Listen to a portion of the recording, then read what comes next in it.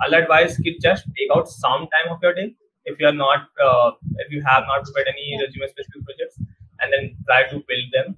Uh, does not matter if you are building 100 projects, make three, but try to have good grasp on what you are making. Try to like uh, be uh, very much fluent in what you are uh, trying to uh, make in the project while conveying to others. Uh, try to explore how to design systems, what actually practically designing a system is, and all those things. That thing actually helped me a lot in interviews because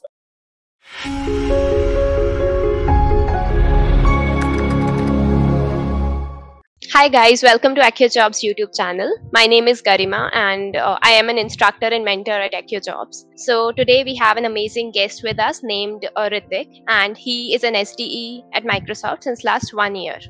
So we will talk to him about the entire process of getting selected by Microsoft. Hopefully we all get to learn a lot from this. So let's welcome Ritik.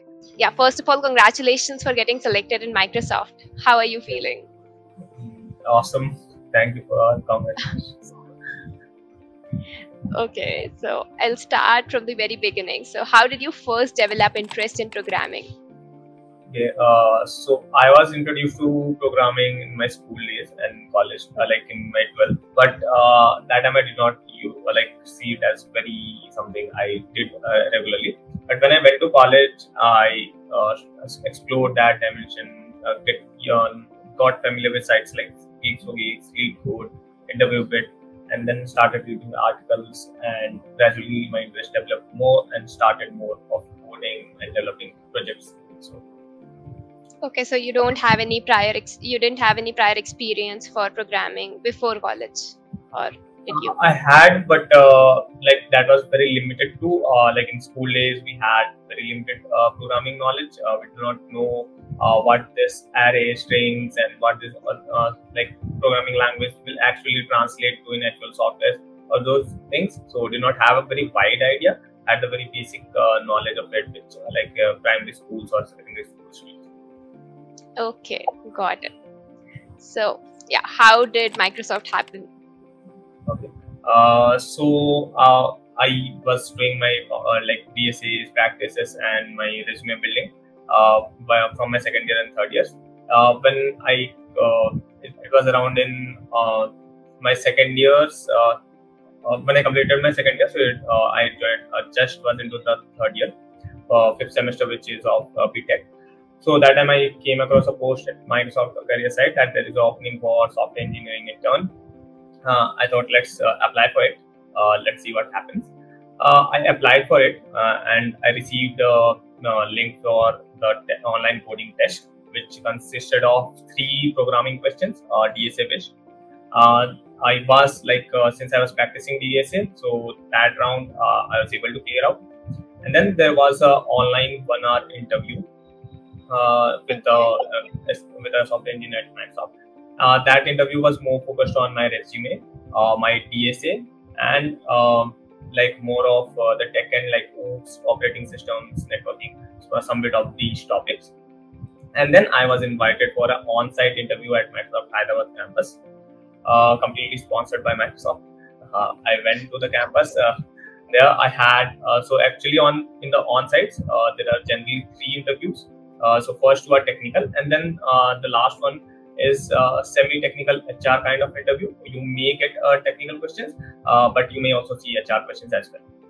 So the first round is more on DSA and resume, uh, same as uh, same it as that of online uh, interview. the second round was actually on system design, so which no one was expecting since it was an intern course. So most of the students that have uh, come for the interview were not uh, uh, like expecting a system design round to happen. Yeah. But since I was like preparing projects side by side and I had like some idea of system design, watched YouTube videos on that. So as like that is around 45 minutes on our interview again, and I was able to clear that as well. Then, uh, then there is there was a uh, small discussion uh, tech and HR kind of thing. No, uh, nothing related to uh, more coding or projects or design. Um, generic technical questions like what would you want to enhance in WhatsApp or what would be a new feature that you would like to see in YouTube or some some sort of uh, those questions. And uh, then there were like few HR questions uh, like how uh, like why do you want to be at Microsoft? Uh, what is the thing that you like about Microsoft? If you are selected for intern, like how would you spend around two months apart from working on your projects and so on. And okay intern happened. After the internship got over, again I had to appear for three set of interviews uh, for uh, the final offer. So after I did my inter- internship, then the same uh, pattern was there. First round was DSA and resume based. Second round was for system design, and then final round was HR plus uh, technical. Okay, so for your internship, you directly applied on careers portal. There was no referral or anything like that. No, no. Okay, got it. So, uh, what do you think helped you the most in, uh, you know, getting an internship at Microsoft? Okay. Uh, so, uh, uh, so most of the time I see everyone advises you to do DSA. So that is uh, like for sure must that you have to practice DSA to LeetCode, a GFG interview with that all steps you have to anyway do. The second thing that helped me the most that I was always curious about exploring all the other things apart from DSA uh, like how to build an Android app, how how does the site work. Uh, normal, just I used to browse the same thing in YouTube, search and see okay what is front end thing, what is back end. Uh, not uh, constantly trying to dive deep into the tech stack and try to build something out, but uh, try to explore how to design systems, uh, what uh, how what actually practically designing a system is, and all those things. That thing actually helped me a lot in interviews because uh, DSA I was prepared uh, like operating systems, networking, OOPS, all these concepts I had prepared. But this, uh, the design things and all the questions that I got in that round, uh, I was able to uh, answer them based on the explanations that I did. Uh, and all of them, since there is no right and wrong answers for these questions, so like it will come from your exploration. So that helped me a lot apart from like the normal DSA practice. So, were there a lot of questions based on system design that you thought were technical enough that if a person who is not familiar with system design won't be able to answer? Uh, no, I don't think uh, that that is to check on how you actually uh, do it technically. Uh, that is to see how you think it actually. Uh, let's say I tell you to, uh, so let's say I give you a problem of make a messaging system uh, so it does not necessarily mean that you have to uh, like answer in technical side that I'll use so and so database, I'll use so and so uh, tech stack to build it, but more of like how you can think of okay, this is a message that I'll, that will be sent from this person. I'll pass it to my uh, store it in my database and pass it to some other uh, person. So just to check the flow whether you are able to think in that way or not. Okay, got it. So, what do you think would be the strategy for anyone for the selection process at Microsoft?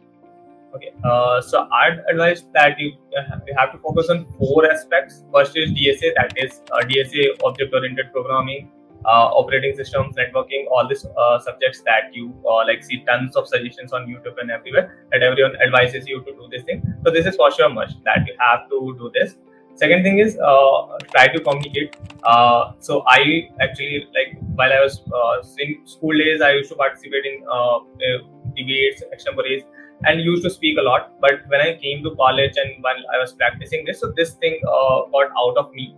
And when i started appearing for interviews i realized that okay i have to set back the flow. So try to communicate with your like try to explain a problem let's say to your friend or someone right try to explain something. So that will help you communicate better in an interview. Uh, so communication is the second thing. Third thing is try to explore things. Uh, like don't get uh, overwhelmed with things like uh, okay this is front end back end system design. Uh, so don't get overwhelmed by hearing the terms. Try to explore all of these things. And uh, fourth thing is like just be positive. So i had the attitude key, if you am seeing a post and i feel like okay this is something that i can like uh, just give a try at least go for it. And have that positive thing in mind that will uh, that the interview will also be able to see in the interviews and uh, definitely you will see the outcome at some point. Okay.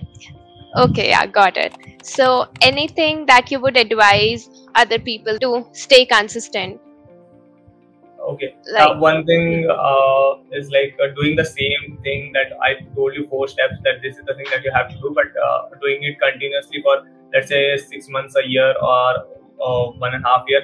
Maybe like okay this uh, you may get bored but uh, trust me the rewards that you get afterwards when you complete this entire process you get the offer you get selected and uh, you go for that job uh, that is like truly amazing. Uh, so i have been uh, it has been a one year at microsoft and every day has been a new day for me at the job and every day i feel the same energetic way to when i go to my office i work so that is truly rewarding. So uh, the one one year uh, years work, that hard work that you will do, that is definitely rewarding. So trust the process and uh, like be positive for the outcome. Okay. Okay. Yeah. So how how did your projects help you in getting selected at Microsoft? Okay. Uh, so in uh, so I started building small small projects when I was in my late first year. So I thought, ki, okay, I have, I do some DSA, but uh, okay, let's try to build something. So there are tons of courses on Udemy, Coursera, uh, Udacity, right? So I just tried to like go for the free one because as a student I had limited resources. So uh, whatever I uh, like used to see okay this is a project that they are trying to build let me build it in my system. So i tried to build that uh, project and when i showed that my friends and uh, seniors so they gave me good feedback okay this is something you're trying out and that's good. So you can improve on this by doing this and so i received those suggestions and gradually like uh, i did not realize that i had made seven eight projects by uh, the time i was uh, making my resumes for internships. So that helped me a lot. So uh, resumes uh, in resume you your like DSA profiles are like one thing that will help you. Second thing that matters the most uh, is your projects. So projects are very very important. Uh, so you uh, like I'll advise you just take out some time of your day if you are not uh, if you have not prepared any resume specific projects and then try to build them. Uh, does not matter if you are building 100 projects, make three, but try to have good grasp on what you are making.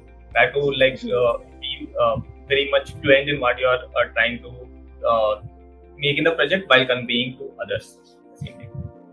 Okay how did you manage everything? Like you know making projects preparing for projects dsa ooh, system design and all of these things and just like before internship? Okay uh, so dsa is something that uh, was scheduled like i have to practice uh, two to three hours minimum a day. Right so mm-hmm. that i used to follow key two to three hours and apart from that this exploration wala part system design all this i just used to take uh, i just used to think in mind that every week i'll at least watch three videos on this. Uh, so that was one thing that i had in mind. Or sometimes i used to keep it like i'll watch one video a day. Okay 20 minutes 15 okay. minutes video a day and then uh, i followed that thing. And this was it used to be random like i came back from my lunch i'm sitting idle. So let's watch a 15 minutes video. Uh, and then uh, uh, gradually after six months i realized okay i've learned so many things uh, uh, just by spending 15 minutes of my day uh, from using the time that I would anyway be watching any YouTube video or playing yeah. some. okay. Okay, yeah. Thank you so much. I hope you all enjoyed the video. Please like, subscribe, and comment, and let us know what part of interview inspired you the most. Thank you. Have a good day and keep learning.